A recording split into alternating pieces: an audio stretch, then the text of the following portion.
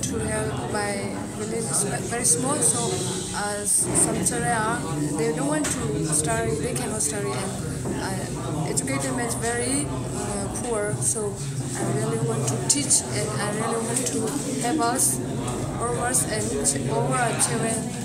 So uh, my plan is, if you want to finish this seminary, I really want to do a children ministry. So please for me, and I really request. So thank you.